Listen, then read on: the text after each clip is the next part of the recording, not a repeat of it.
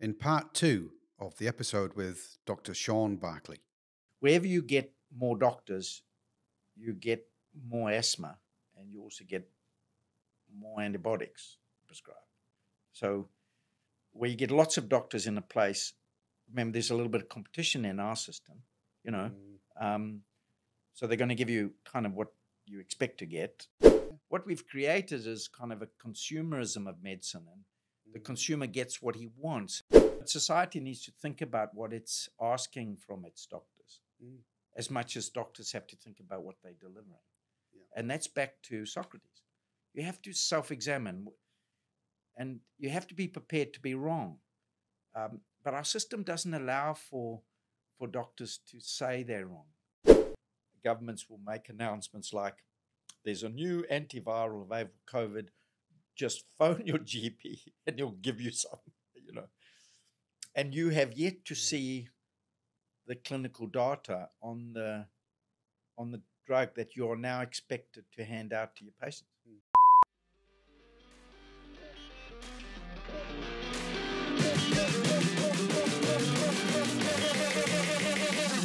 Can I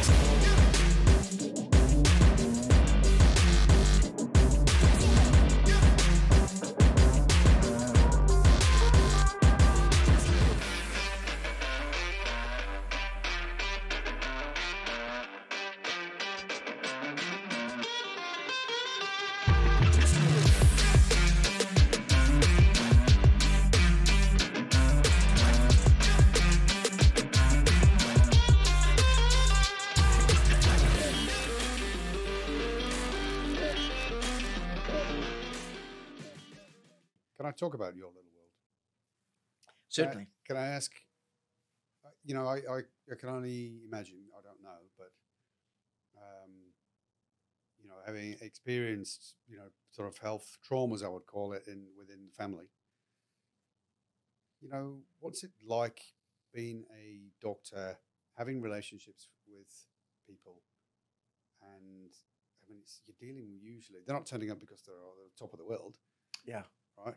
It's it's a, it can be a bit doom and gloom and grim, and obviously there, there's bad news along the way as well. Oh. What's what's that like? Does it take its toll? I mean, you've been doing it for thirty Lovely question. That's that's a lovely question. I think I think it can. Um, I think it's no different to any of us. So if if you're under a lot of pressure for too long, you know, uh, and you're stressed, Mm. then yes, some of that um, some of that sort of negativity can rub off, and you can get quite down. Um, what I find interesting about my profession is that, you know, from time to time you'll have interaction with the, the medical council. Now, there was a newspaper report that sort of just hit it on the mark, and I was quite pleased to read it because it meant that that many of my other colleagues felt similar to me. Was that the medical council keeps telling GPs to take care of themselves. It's like it's our responsibility to take care of ourselves. And if we don't do it, we get into trouble. it's like better take care of yourself, otherwise we're going to come after you, and we're going to not let you practice. But they never comment about great, the great system. motivation. Yeah, never about the system in which you work, where it's almost mm. impossible to take care of yourself because the whole system is geared to GP seeing more and more patients for less and less money. It, it's just prevalent in the model we have. It's um, and unless you want to take a cut and pay, and a, work in an isolated place, it, it, it doesn't look like it's going to change. But you're responsible for your own mental health. It's almost impossible to, without the time to do that.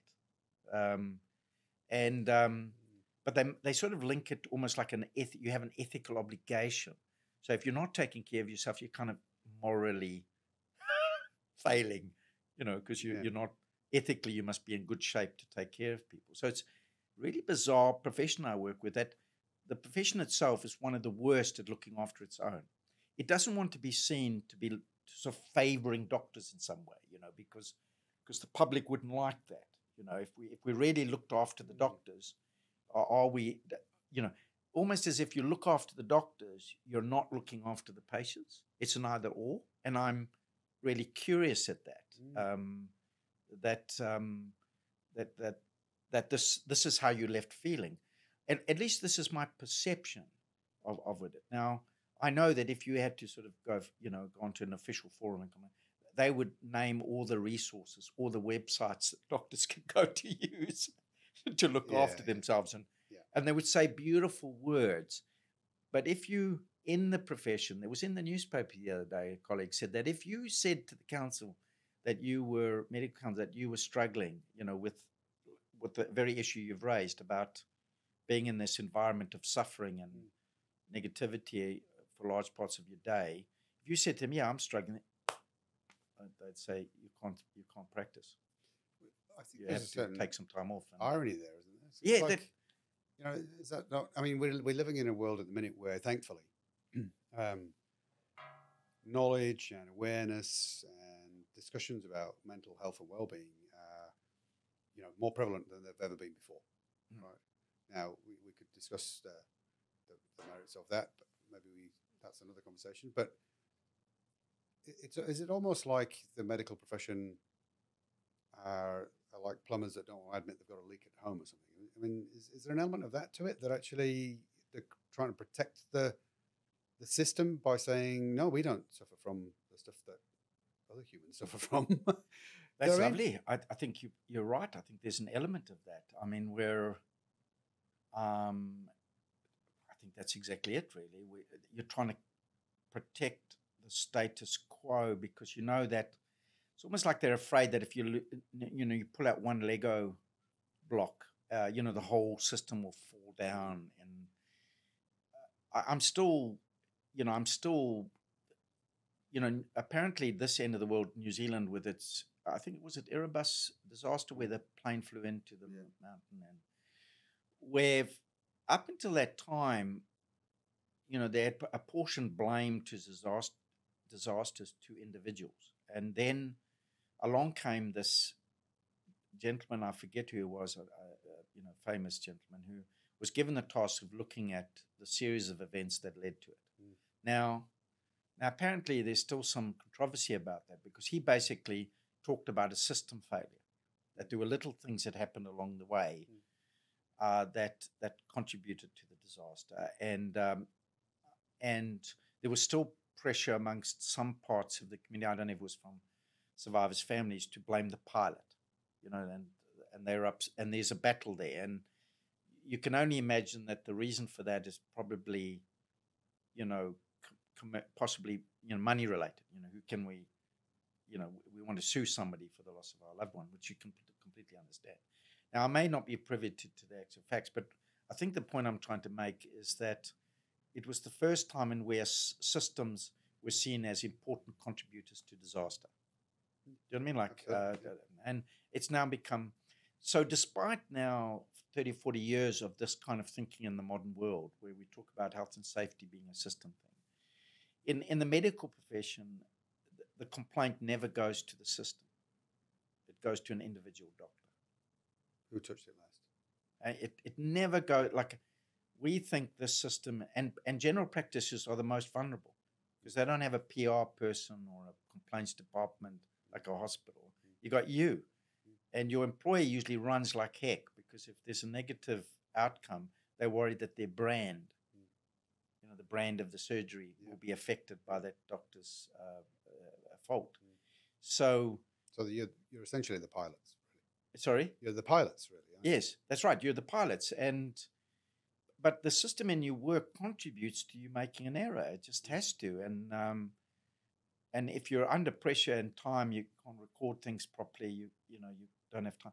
You see how it all, and this idea that if we admit that, then we have gonna gonna have to go back to the drawing board, or maybe not the drawing board, but we have to maybe go back in time to to some just to digress with another story that you'll enjoy. I mean, we've just got we've got to remember Edward Jenner. Do you know who Edward Jenner is?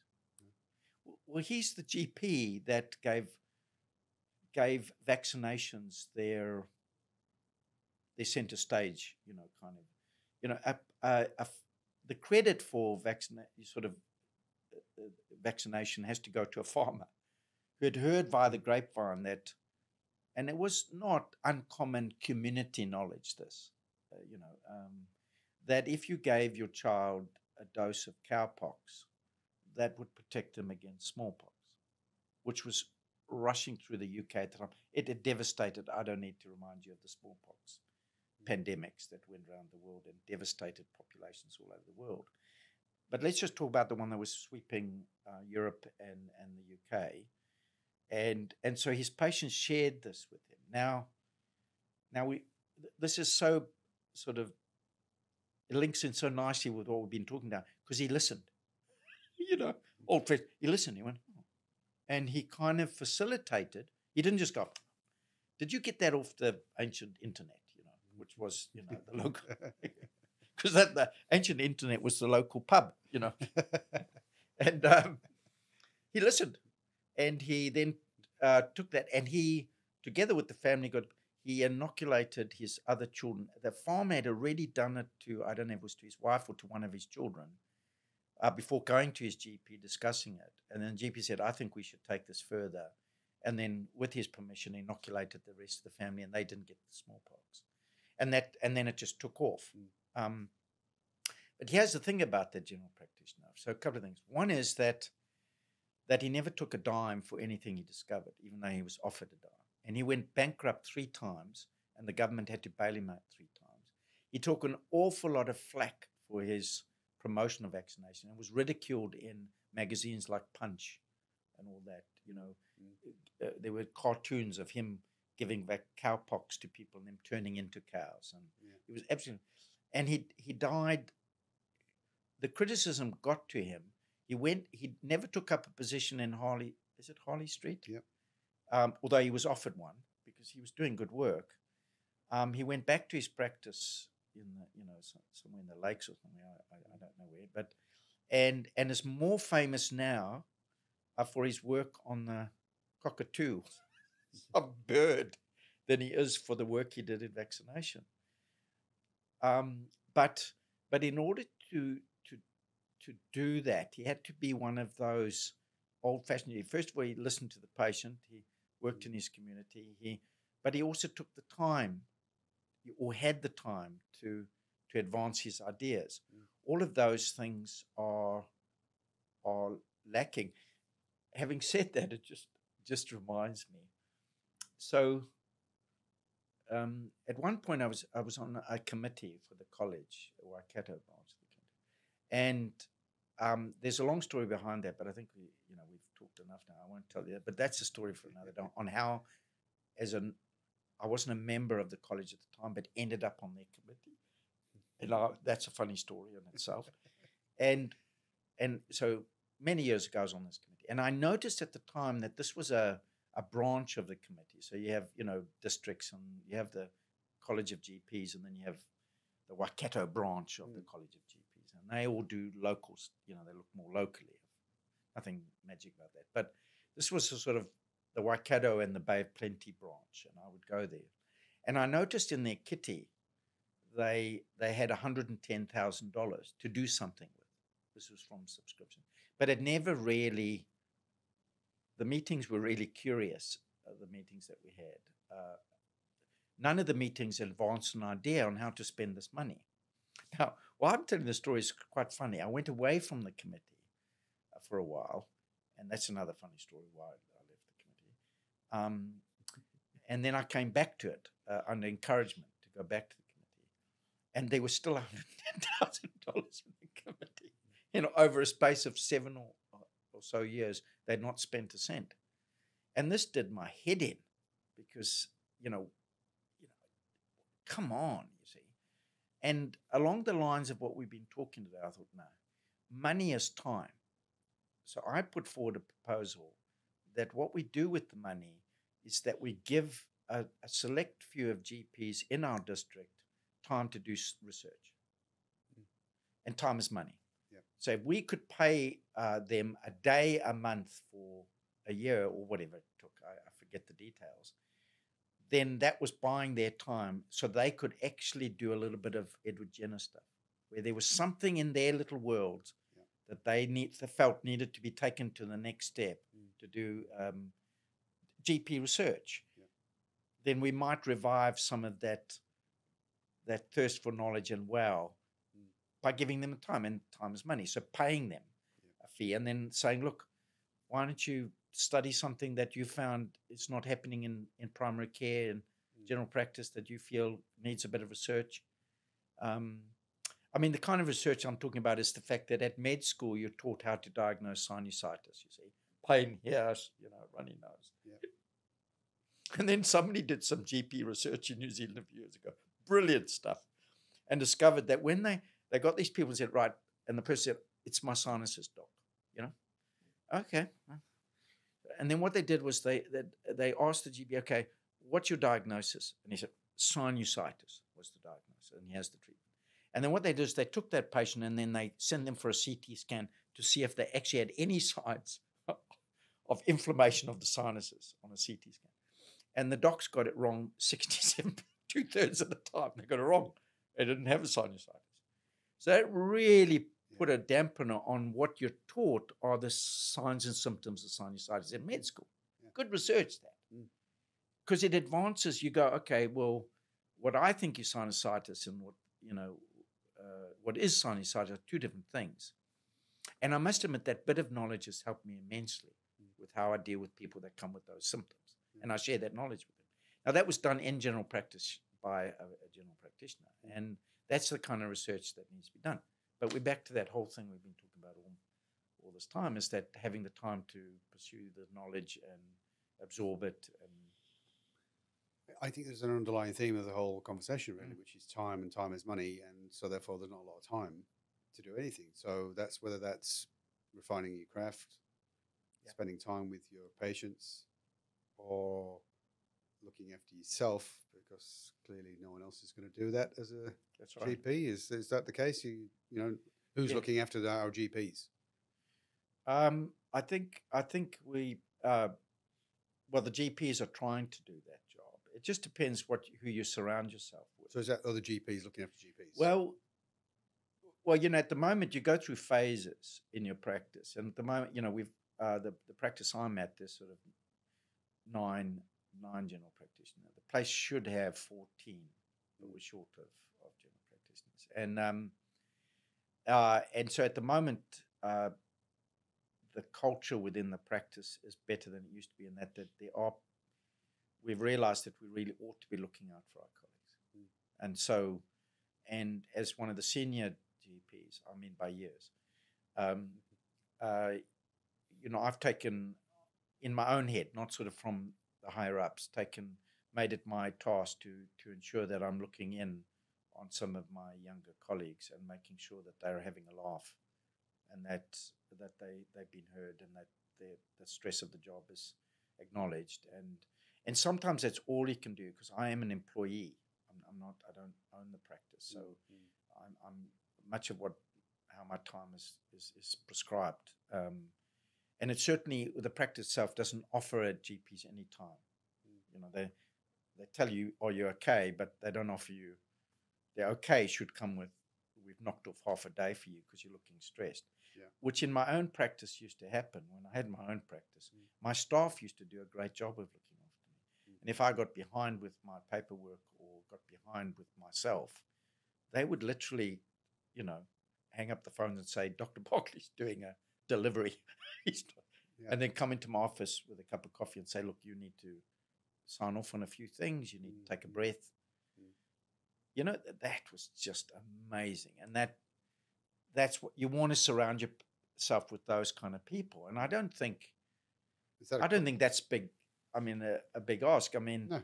lots of companies do that. I mean, every you know, it's Well- not. It's a. It's a. It's should be part of your modern practice. I mean, Well, every every workplace is encouraged to look after the health, safety, and well-being of its people. Why is I mean, you- you would think that in the health sector it would go without saying yeah, Yeah, you would. You just would. You'd think that they would. because you'd recognise the value of it. Yeah.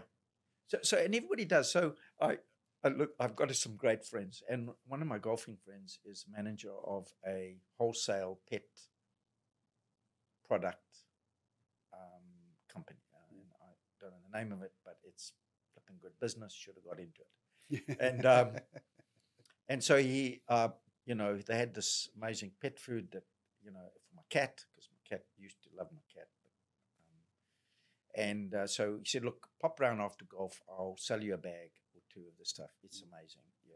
So I followed him to his office space, and it was a warehouse in the industrial area. And we walk in. It was like Google. It was like a bean bags. There was a big screen TV. There was a pool table. There was Mm. a kitchen. There was a Barbie thing outside the back. And I went. And this is, and I said, what's this way? He said, this is for the staff.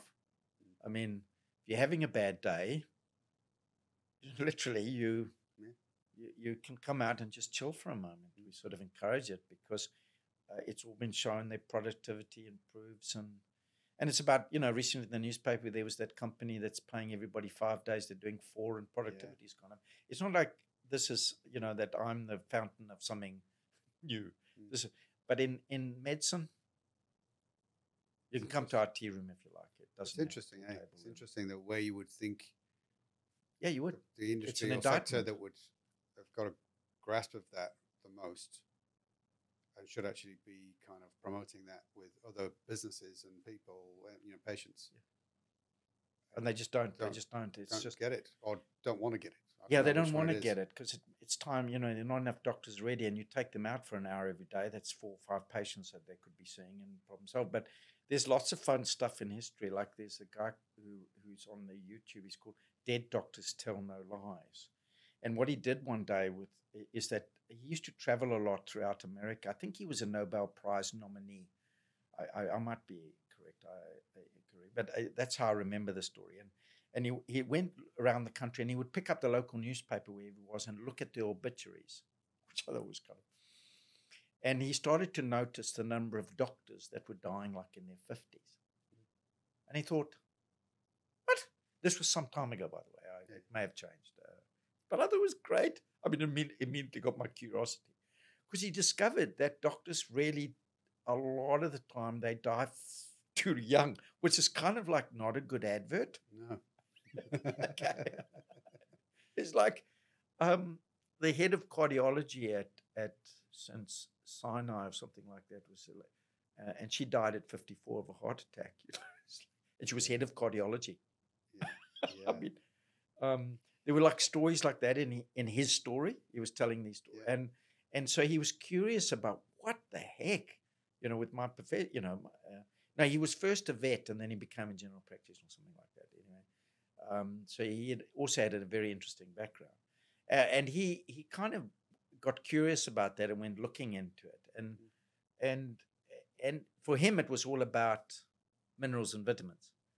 The fact that that that he felt that we ought to be taking that all the all the, people that lived the longest on the planet appear to be close to um, sort of mountain streams that have a lot of minerals in them. Uh, You know, if you look around Japan and Peru, and they're very high up, and Yeah. You know, and, and one of the contributing factors. I wouldn't like to say that I know all the facts about this, but they live longer than people down at sea level in crowded places. So, so he, he kind of promotes the idea that we all need to be taking more minerals and vitamins. Um, but he got there by looking at the fact that wh- while I, exp- you know, I say to people, you've got to take, sorry, you've got to take good uh, food and, you know, eat your vegetables. And then, you know, all my colleagues are dying in their 50s. And is it because they're not looking after themselves? Yeah. Which is not good. No, I mean, it's not good. not We, good. we we kind of should be at the forefront. We should be like those Viking warriors of health, and we're not. It- And why is Yeah. that? I That's mean, it kind of, kind of, sort of lends itself to the fact that we are, uh, and I know I'm speaking maybe out of turn here, particularly with my doctor sitting across the table, but is it a symptom of the fact that our health system is a little bit ambulance at the bottom of the cliff, as opposed to um, being healthy, as in you know, like we're fixing rather than preventing uh, without a and, doubt. And, and our doctors are also not preventing. I'm not in the business of preventing. They're in the prevent- uh, business of fixing. And so it's a kind of fixing mindset. And so not looking for it or not doing anything about it. I'm not sure. No, you're onto it. I, I think. uh, I mean, the the stark reminder of things like this are, you know, the government. Um, so it goes back to a bit of philosophy. There we go. So, in terms of how we measure things, you see. So, how, how do you measure well-being? You know, and I know that a lot of people have got questionnaires that ask you, but it's not an easy task. Okay, it's a Mm. qualitative kind of question, and um, uh, and governments don't do well-being very well. They just don't do it. They like to think they do it well, but they don't do it very well because it actually is quite difficult to achieve. Um, it, it's very variable, and what does it mean? Um, but it's much easier for governments to go to the polls and say we've done, you know, a couple of thousand hip replacements. I mean, that's a real number. And we like them. We're very comfortable as a human race with numbers. We can measure that. We're comfortable with things we can measure. You know, we can measure the number of something. But um, it's like when you meet people, what do you do? "Oh, I'm a builder. Yeah, very good. I know what builders do. They build. How many houses do you build? I bought 10. I know what you do. It's great. You're doing a good job. And then you meet somebody, you know, what do you do? I'm a poet and I talk about philosophy all day. And everybody goes, okay, I don't know how to measure that. Is that a real job? Is it important? It's, but we know that that's a valuable thing to do and we wish more people would do it. Uh, but we can't measure it, so we don't want to talk about it. Um, and so, so here's the thing, you know, we will very readily, and the taxpayer agrees with this approach, that we will pay for hip replacements, but we will not pay for a personal trainer to perhaps prevent people from going on the hip replacement waiting list. There's good evidence to suggest with the right strengthening and stretching program to to chosen individuals, not everybody, but you, you might get them off the waiting list for a hip replacement. But we're very happy to keep them on a waiting list, unproductive in their lives and their jobs, because hip pain is just a shocker. Mm. It's a real destroyer of quality of life. Uh, but during that period of, you know, we won't spend any money on giving them, say, a free membership to a gym with a one on one trainer. And the, the cost difference is huge. Why, why is that, do you think? Why have we not gone on to that? Okay, well, that's I mean, it's not, you know, because from a that's, numbers that's game an point interesting, of view, yeah, that's. it makes uh, sense, doesn't it? We all know it makes sense when you it does. It's, lay it's out not, the business case yeah. for it. It's like, well, actually, is it a psychology thing? Is it is it something that we, we don't know for certain that you would need that hip replacement, so therefore this could be a wasted investment? I, do you know what I mean? It's You know, like it's great. prevention. I think you're, you're. I think that's what you're pointing out here is it's not really for doctors to decide that because we do, we do function within us. You know, we we are advocates for things, but we're not necessarily the deciders of all truth. We we, you know, we uh, we want to involve patients and the public in the decisions about what we spend the health dollar on because it is we work in a, resource confined space. And and so we have to be mindful of of of how we spend our resources. Now when i start talking like that you can see that it has to involve the community in that discussion. The question is what kind of knowledge are they being fed? Yeah. I mean, are, are they being told about those those um, studies that suggest that a one-on-one trainer, you know, potentially help them avoid because because some people do do it. I, I do share the knowledge with my patients, and some of them of means Mm. will go and do exactly that. They will go and get a personal trainer, and they will get better, and they will come back and they're grateful for the knowledge. But it would have cost them a fair bit. Um, and and sometimes you can't avoid hip replacement. So I'm not saying replace it, but you can see my point about it's a worldview. It's it's back to this idea of of you know what what you can measure and how that's used politically and uh, you know as as a fact and and using facts in a way that I don't know perpetuates the status quo or Yeah. you know and, and and there's some criticism in the medical profession because you get paid very very well to do hip replacements you don't get paid that well to be a one-on-one trainer. So is that uh, Yeah, could be. uh, That's uh, got to be a driver as well. uh, well, unconscious bias comes into it. You know, Yeah. despite the refusal of all of us to say that you know we're, you know, we do have unconscious biases in the way we behave, Yeah, and also the way you fund things. You you create an unconscious bias Mm. in behaviors. The way you Yep. you fund things. You don't fund quantity. yeah. You, I mean, you fund quant- quantity, not quality, in in health very often. Mm. I, I, I think there's something else as well. We, you mentioned about the community, what the community wants, right? I don't know that the community knows what they want. I think a, part of it as well comes to the, uh, the psychology of the community, of the individuals within the society, and what they vote for and what they would like. And I think when you when, when I think about the psychology of change and people wanting to make changes, and I'm a strong believer that we only do. There's only two reasons why we do anything. One is to avoid a loss, and one is to gain something. Avoiding the loss is is uh, has got a, a lot more emotion attached to it because if you've got something, you're going to lose it. You know what it would feel like to not have it.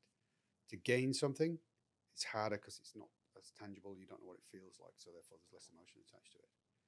So, so. so in this context, um, yes, you might lose the use of your hip, but actually you've got your hip, and you don't know what it feels like to, to lose that until you've lost it.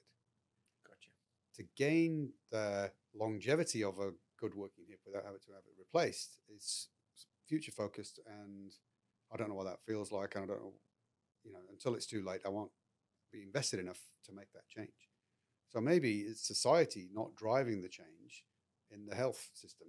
You know, we've got to reach a tipping point at some point where we tip over to being more prevention and health focused than when I say health focus, I mean what you know what I mean by that, as in uh, being healthy rather than fixing up ailments. Well, there's a whole lot of things you mentioned there that, that just make my brain light up. You see, so for instance, when I first arrived in New Zealand, I got the opportunity to coach rugby, and I coached the army side in a place called Waiouru, a little place, and and so what struck me on within a very short time of being here is that I would see a um, an, a soldier in the morning with a very badly damaged knee. Let's just call it that. And that afternoon, he'd be on the paddock and I'd be coaching a rugby. And I'd have a frown on my face saying, Didn't we just talk Mm. about your knee? And you're here training rugby on a knee that probably needs surgery. Mm. What are you doing? And the reply I got, the first reply I ever got in this country all those years ago was, Don't worry, ACC will take care of it. You see, so so despite the, I know that the the goal of ACC was was noble. It was by a bunch of guys who sat around and discussed a system that didn't no blame system. You know that we could. It, it was an extension of the of the social kind of Mm. welfare state. It was Mm. look after people who'd injured in a way that doesn't look for blame, and um, that was noble, and I, I applaud it. But but you can see it created this kind of perverse behavior, um, and I saw it on a few occasions. For instance, I would see a young mum of 25 with three children, and and hubby's a, a soldier and he's off to Bosnia. That's when I arrived. New Zealand was helping out in Bosnia, and and and she'd be alone at home with three children. And the army had a high standard of how your house and garden could be presented. They would do inspections, Mm. uh, and so there was quite a bit of pressure to have a well presented garden and and a tidy home. Otherwise, you know, somebody would be in the job. And and for instance, in that circumstance with no help, it wasn't surprising that I spent a lot of my time, you know, with young depressed mums on their own with three children struggling. Mm. And I was puzzled that they didn't just ask for help. They they, they just got some help. Uh, you know, maybe got somebody, maybe even paid somebody to come in once a week. But oddly enough, within the societal norms at the time, it was not okay to admit that they needed help and not okay to pay somebody, you know, to, to, to do housework. And it's like having a, a servant back in Avalon. That was just a no, even if you paid them. Mm. But what wasn't socially unacceptable was to feign an injury. So you bent over picking mushrooms in the pit, you know, in the fel- in mm. the field, and you got a back injury, and then you could get home help on ACC. Wh- When every fiber of my body would go, "Oh," you know, so they you see how it- feeds into the kind of Yeah. so- social norms where it was created for one reason and ends up being something else. Now that that was a long time ago. New Zealand has evolved since then and changed, but but I do see a lot of un, uh, perverse kind of outcomes from good intention policies. This is why you really do need open discussions about. But trying to get people to have the discussion is really hard. I mean, it's like you know, this is we were talking. I was talking with my wife about different forms of democracy, and and democracy is evolving apparently, and I missed that lecture. but it's disappearing in America, and it's it's evolving here, and I I'm no expert on you know I'm I understand democracy in a broad sense that it's kind of a participation of the masses really, but but oh my goodness, it's getting a few tweaks, isn't it? And um, Mm. what we'll end up with, I'm not sure. But but you know, I, I'm struck then by um, S- Switzerland. You know, like they have these uh, citizens referendums, like lots of them. And somebody wrote an article about living in in Switzerland where you're constantly being asked your opinion on a particular matter. But it works. It, appears to work. Uh, that after a while you get used to the idea that that actually because they do everything by referendum in Switzerland, or a lot of things by referendum that we don't do here. That Mm. when the people speak on a referendum, it becomes a fact, and that's real citizens participating in governance, Mm. you know, as opposed to leaving it to elected few or unelected few, as Yeah. the case may be. Um, and I was fascinated by that. And then you come back to the issue of health knowledge and sharing and decision making. You almost, in my opinion, at times, because of the very questions you've raised and what you said a few minutes earlier about the pros and cons of various approaches to health, you need more of that. You need more of a discussion with everybody. And it has to be a, an uncomfortable discussion. Mm. And where do we spend the money? And and at the same time use those discussion opportunities to educate people Mm. about things that perhaps would help them with their decision Mm. and understanding that we are in a resource constraints and so we have to make some difficult choices um, and for too long that discussion was was mostly amongst doctors you know when do i turn the machine off and you know Yeah. and then that brings me lovely round to my favorite subject, which is philosophy. Because there's no right and wrong. It's a philosophical, and you can't run. I mean, you have some examples of other systems, but you can't sort of.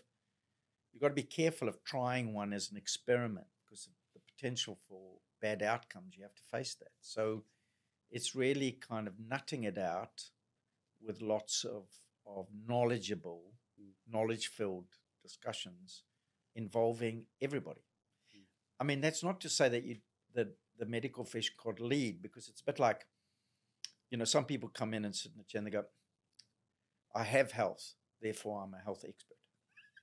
and you go, yeah, not so sure. It's like, you know, parents who go to school and go, you know, I have three children in school, therefore I know about education. You know, they wanted to. You have to be. You need some some experts to be involved. Yeah, absolutely. Um, and I think this discussion is going on in other forums. I think people are are appreciating that in, in many forums Mm. because, but but often the people with the time, back to that favorite subject, the time to participate in these discussions, get hijacked. You know, the, the discussion gets hijacked by special interests because for some reason they have more time than the general population to participate in these discussions. It's odd. Yeah, it is. I'd like to take a moment to talk about one of our sponsors. I'm really pleased to announce that we have Sharp New Zealand as a sponsor. And it's great to have Sharp on board because as a customer, I can speak about their products and services from personal experience. And it feels good to be able to endorse and recommend a company because of the level of satisfaction we have regarding the services they provide.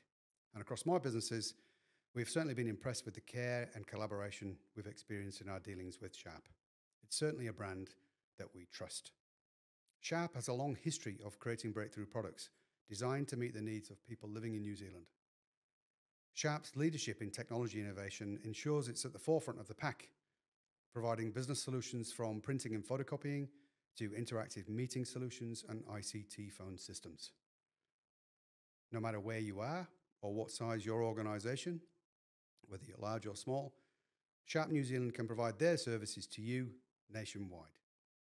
If you're looking to upgrade your technology or renew your photocopier leases, talk to your local Sharp team or visit the website at sharp.net.nz. It is. With with that, I'm gonna I'm gonna ask a question about your future, Mm. your legacy. Right, life's work is about life, work, and legacy. What what's uh, what lies ahead for you? And, and I'm going to ask a double-edged sort of question, if you like. Um, so, on a personal level, what what lies ahead for you, and also what would you like to see change in the health sector? We've we've touched, I think, on some of that, but what would you like to see change in the health sector um, in, in say the next ten years? Sure, those. Uh, okay, so, so, okay, so, okay, I need the one point six billion, and then and then wow, then you'd see my legacy. No, I'm just kidding. Could do with a few more dollars. One point six. Um, but um, okay, so there's on a personal level, it's it's really uh, realizing as you hit past the probably the midway mark of, of my time on the planet that that I you know a couple of realizations. So I probably worked harder than I ought to have, believing that work, you know, one of those lovely things, you know, you know, in work will you'll find salvation. You know, it- you know, maybe it comes from Stalinist Russia or something. You know, work until you drop.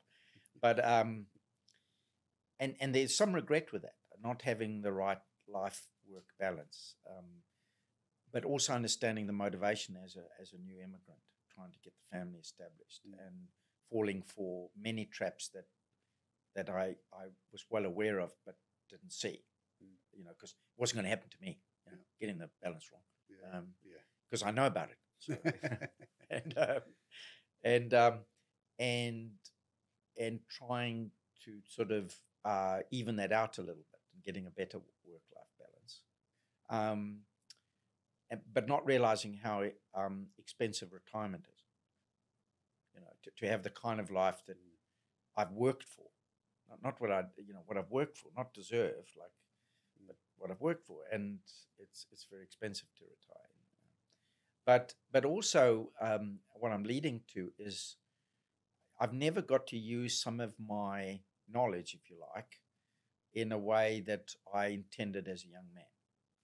Um, and I'm talking more about my my zoology, botany, and oceanography. I- I never I never got a chance to use that in a meaningful way. Mhm. And and talking of knowledge, uh, I've got to tell a story. So so when I was doing I I I once had to do like within my zoology degree, I did a um, you know you do projects, you know, and one of them was um, looking uh, deriving a mathematical model that that described the impact of the black oyster catcher on the limpet population of the intertidal zone. Okay. Um, and and so you know the black oyster catcher walks along the intertidal zone on the beach and on the rocks and sees a limpet and has to try and hit it at precisely the right angle to flip it over so he can eat the thing. Mm. Okay. Mm. And if he's not precise, it clamps down and there's no way in hell you'd need a sledgehammer to get that thing off the rock. So so for three weeks I had to sit with a set of binoculars. Before the age of the iPad okay, and uh, and a very windy shack, zoology shack on some island, godforsaken island uh, on the uh, west coast of of um, South Africa, and um, and watch this bird, and then mark every time it had a go at the limpet, and then every time it failed, and how many you know took, and then and then look at the reproductive cycle of the limpet, and and then oh my goodness, I tell you the variables in this thing, and how many, how long was the, you know, the tide out for? To calculate that, and the seasons, etc., and breeding.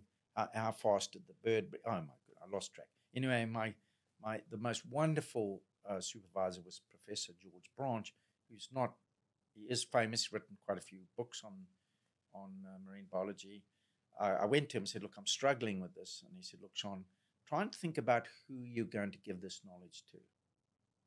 So think about because that's how you'll get it right. You know, um, let's face it. If you're an undergraduate doing this project, your your audience for this knowledge would be, say, final year at school. Mm. You know, if you, and then as you go up, you get your honors, your masters, PhD. So the audience that you're talking to. Yeah. So he said, so keep it simple to that audience Mm. because that's probably what we're thinking. You should produce something that would talk to them. And so reduce the number of variables and then explain where they've disappeared to and how they might impact on your study. And we'll think that's an excellent study, you see. And I thought, great. So I reduced the number of variables to ones that were simple and easy to confront.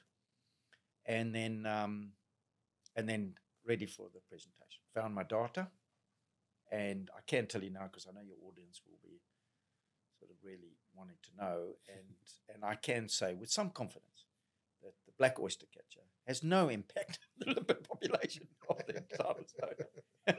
the, the bird, the bird is quite territorial, and he only gets a limpet to turn over one in one in forty five, and and the limpet produces uh, you know about two million sperm, the male, you know, and you know, it's the odds are that probably the bird wouldn't really impact on its survival. really.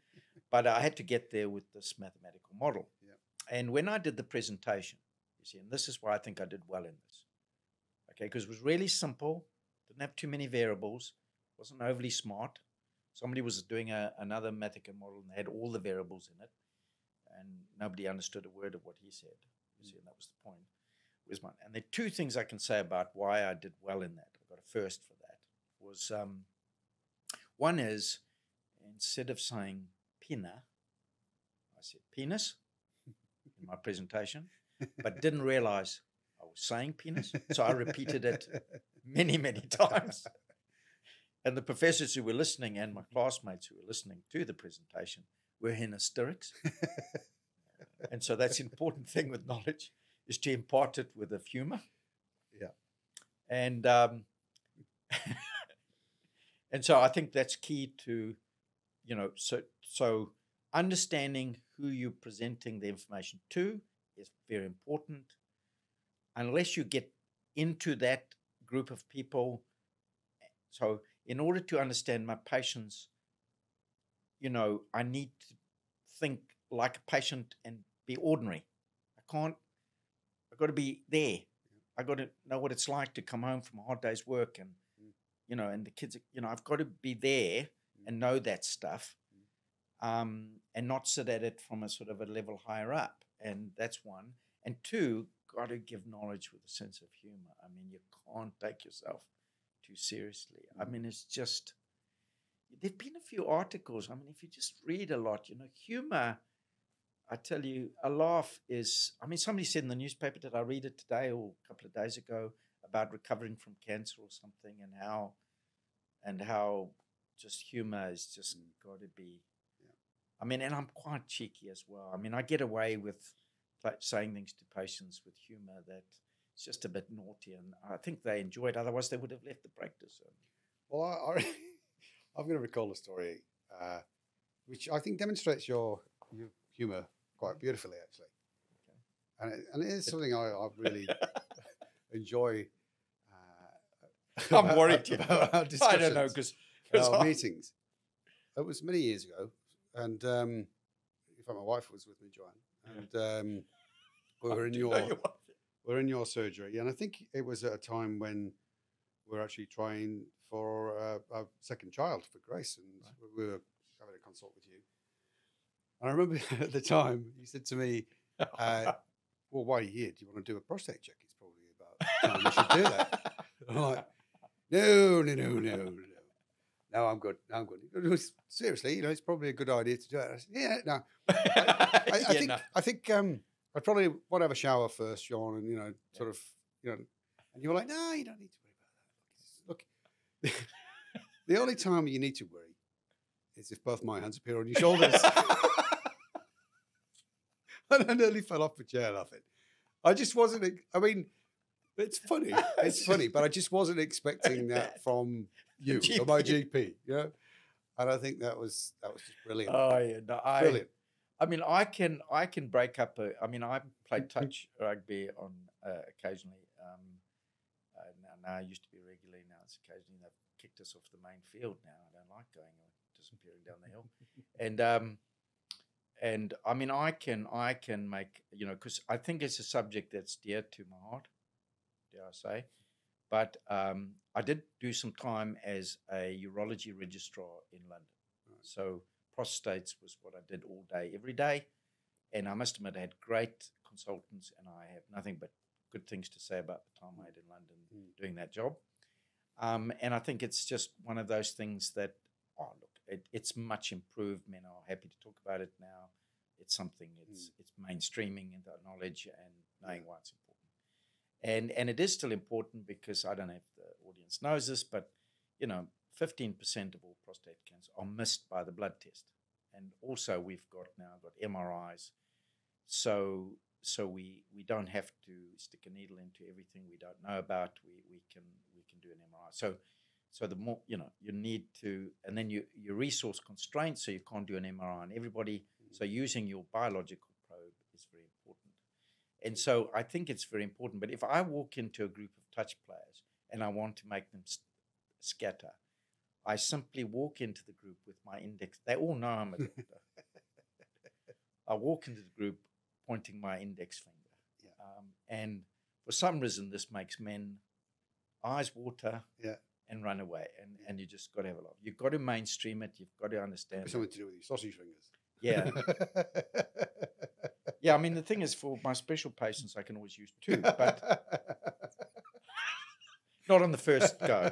It's it's. Uh, I always, you know, I use terms, you know, like just to get them past it. I mean, it's just being being human, really. I think it. I mean, you've Yeah. got to obviously pick your moment, and some moments are inappropriate to have any jokes, and some moments there's a moment there, and you you seize it, Mm. you know, and you, you know, you ask patients. Some of them I ask them if they're prostate virgin, and and they blush.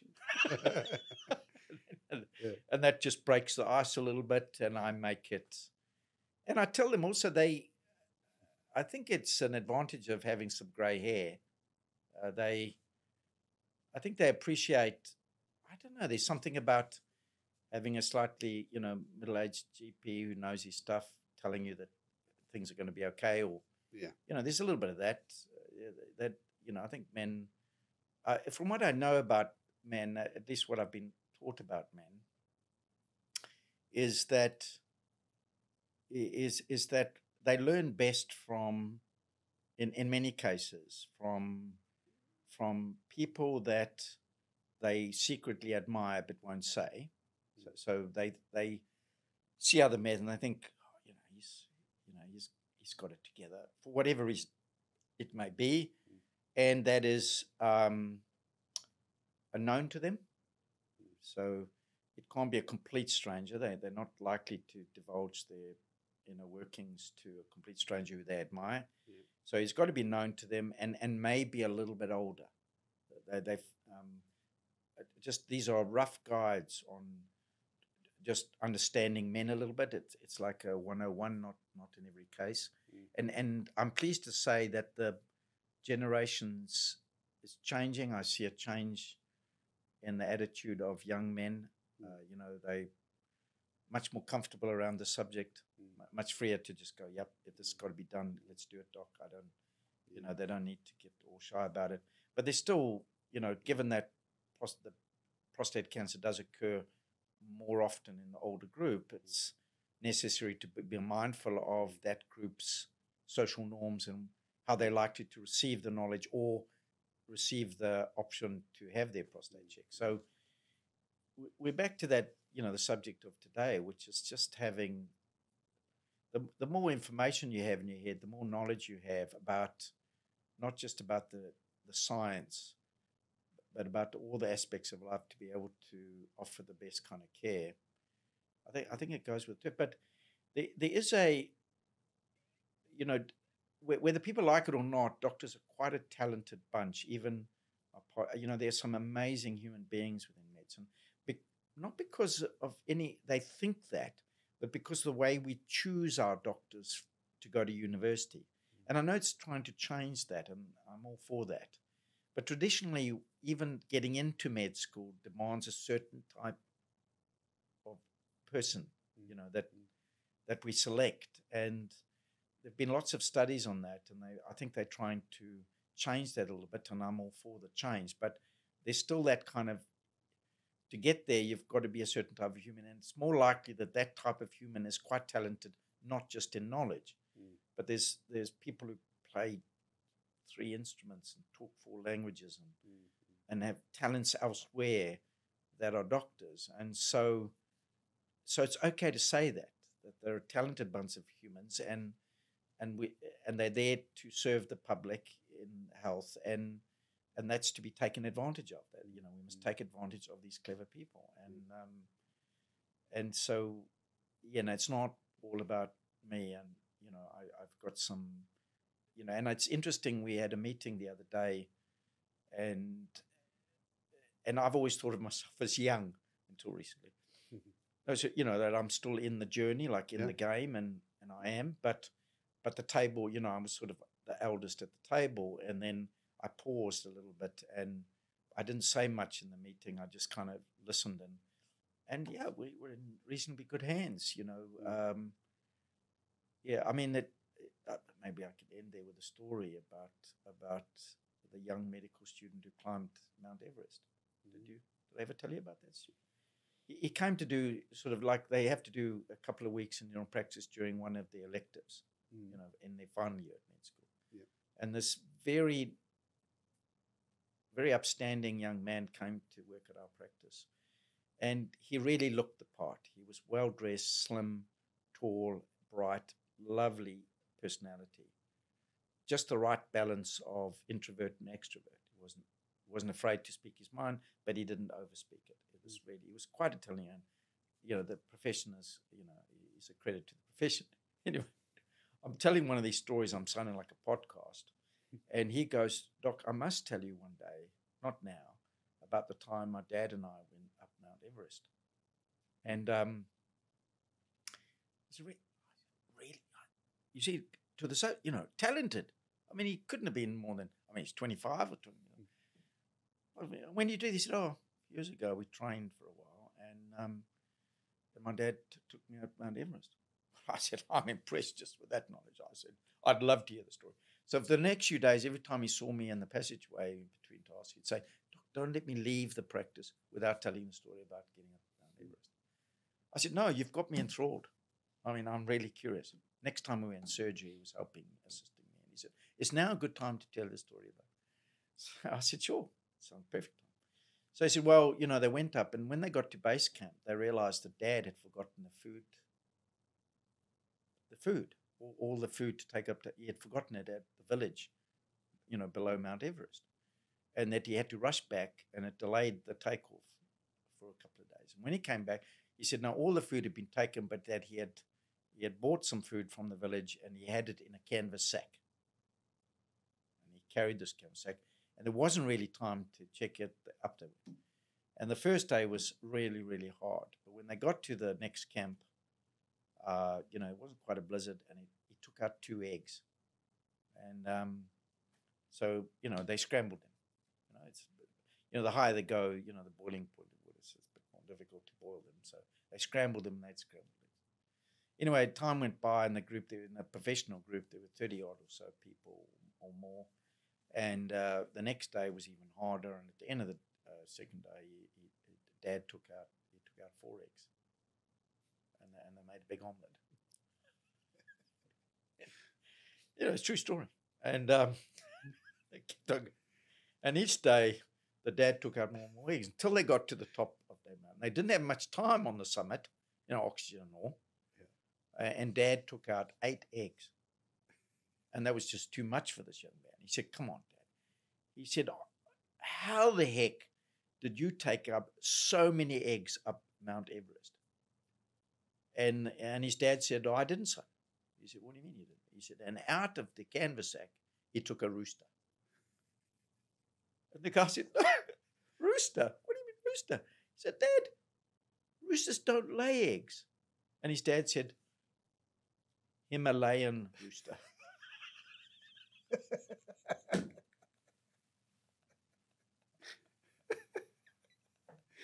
anyway, anyway, it's a good thing I'd finished the surgery because he, because up until about this young man is going to be a fine doctor. because until about the third day, I was believing him.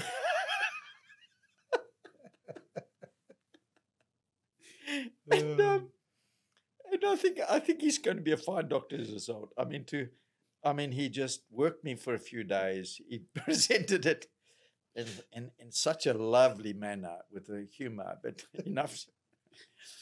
Anyway, I try and convince people now. I use I have pinched his joke, and and I now say that I I went up to him, but I know somehow they you know because of people know me now. Yeah. they kind of go. You Yeah, know we. I'm going to be. I'm going to be honest with you. I think your issue, Sean, is that even though I don't know how many times you've told that, but you couldn't keep a straight face telling it. no, I can't, but, it's funny. It is funny. I mean, I, I'm a funny guy and I tell funny jokes, and I. but um, but it's, yeah, it's important. I mean, I I hear you know, interesting enough, I get most of my material from like my my really old men, like ninety year old, and they come in with these jokes, and I I find that I must tell the joke a couple of times during the day, so that I remember it for next time. You know, Yeah. so I've. uh, Some of my patients are just one, and I, I learn so much from them, and they're just Mm. delightful.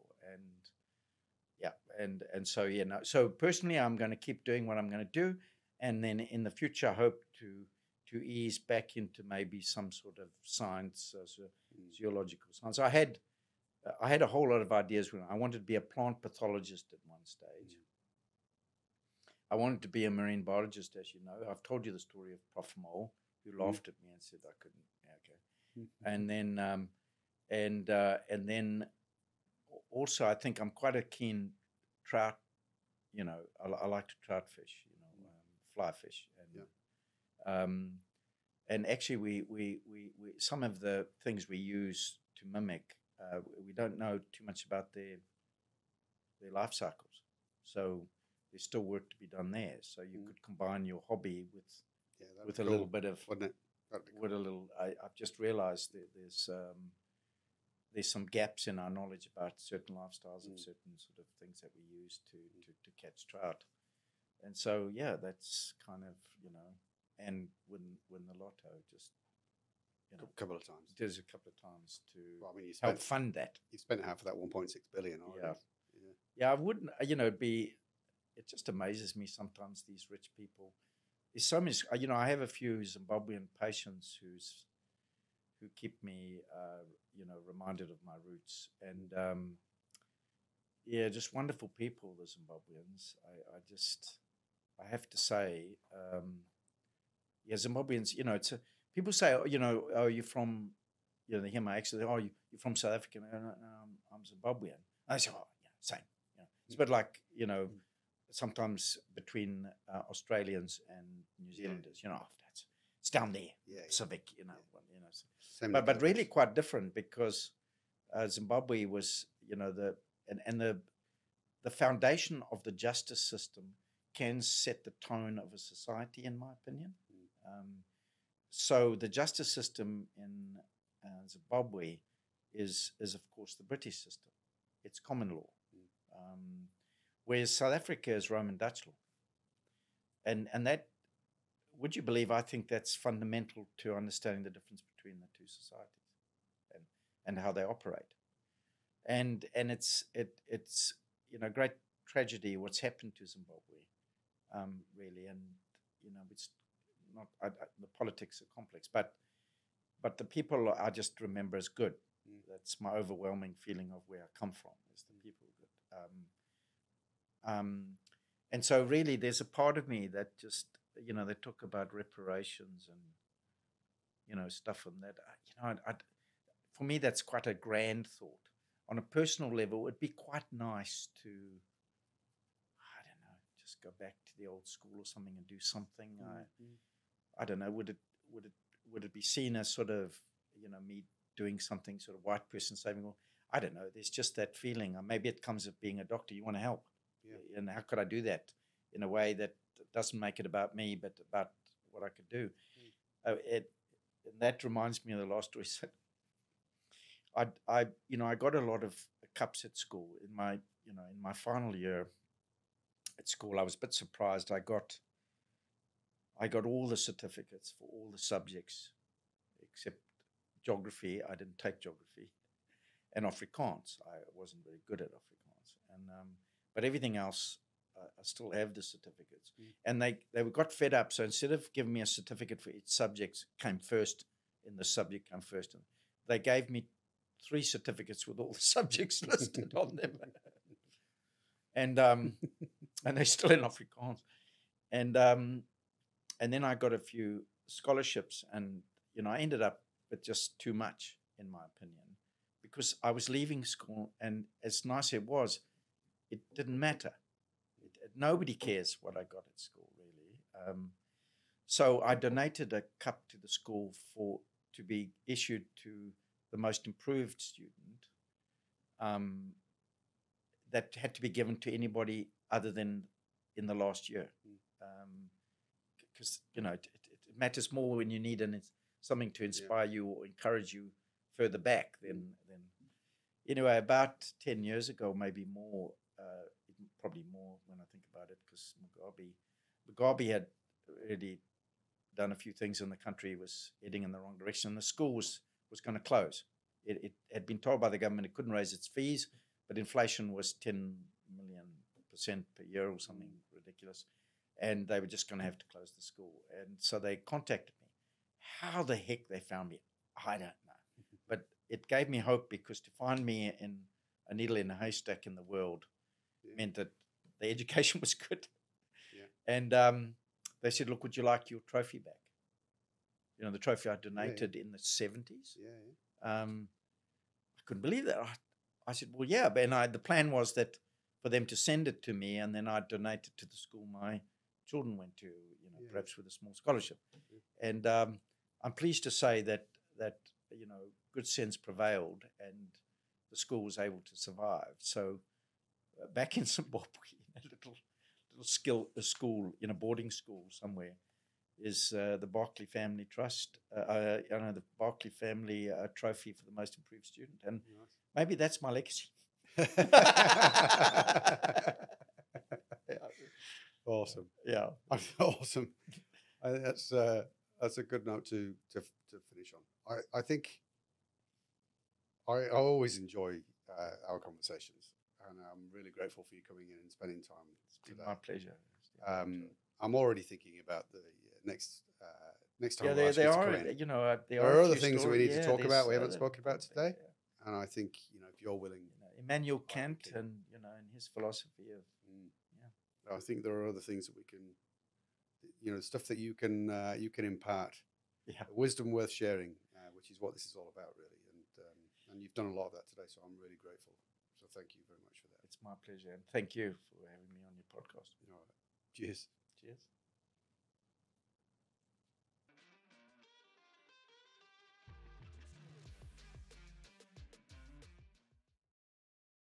I love catching up with Sean, which is strange, really, because most of the time I do, I'm in his doctor's rooms.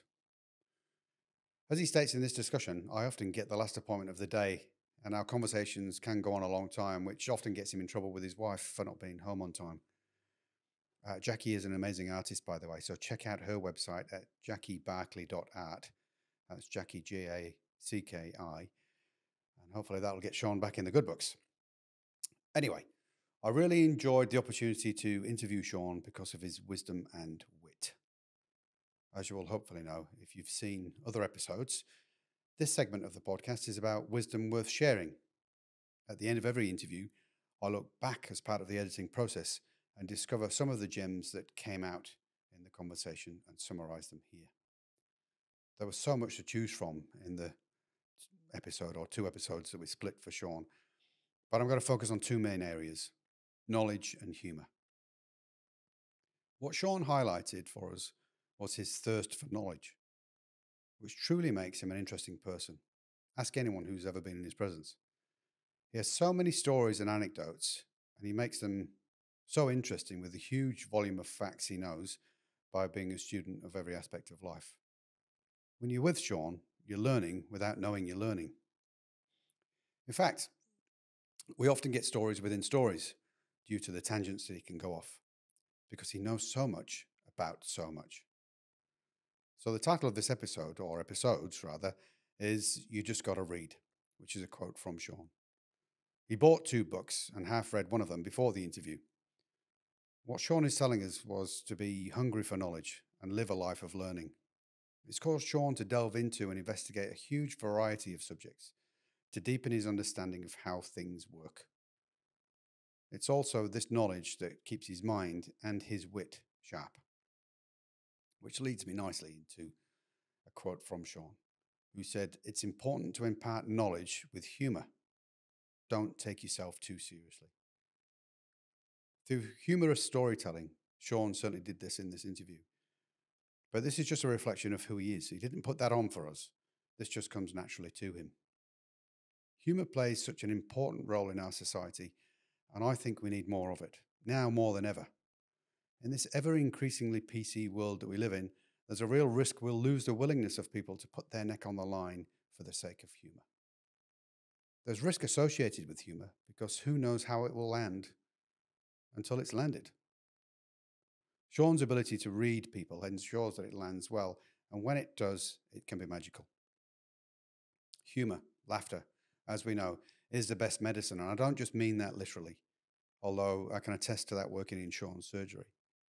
But it's important everywhere in our lives. At work, it can help create a great and productive culture. At play, it can help teams win. In love, it can help create long bonds. And with family, well, where would families be without it? There's nothing I love more than to hear the laughter of either my wife or my daughters from across the house somewhere. I have no idea what they're laughing at, but it's infectious. And at the very least, it makes me smile, if not laugh out loud with them, even though I'm not with them, I'm by myself. When I feel a bit down, I often think about the laughter of my girls because it has the ability to change my state. Try it, it works.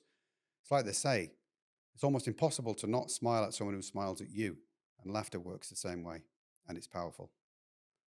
My parents are the funniest people I've ever met. And I know that their ability to see the funny side of even the most serious of situations is what's got us through things. And so I'm thankful to my mum and dad for giving me the gift of humour. Sean uses humour to make people feel better. He describes having people walk into his rooms being disgruntled or even extremely unhappy at times. But his ability to ensure that they leave with a smile on their face is why his patients stay with him. Personally, I take a book whenever I have an appointment with him because I know I'm going to have to wait a while. Do I mind? Absolutely not.